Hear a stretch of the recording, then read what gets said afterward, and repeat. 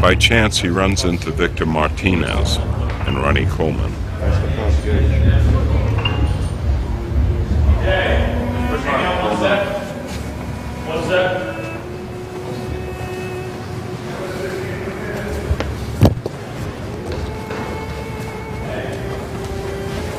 That's the guy that was second last year. That's a controversial second. He says he should have won. That's Victor Martinez. Is it? Okay, cool.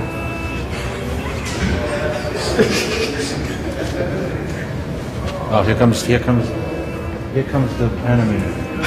Ronnie Coleman. This is the Ronnie Coleman right here.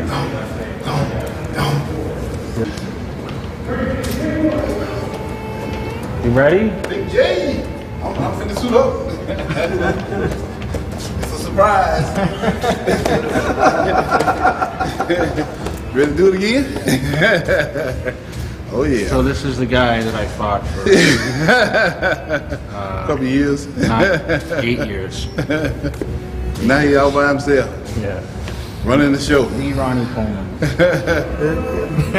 the one and only. I'm the one that's been there time and time and time again. I fought all those years against Ronnie Coleman, the best bodybuilder ever.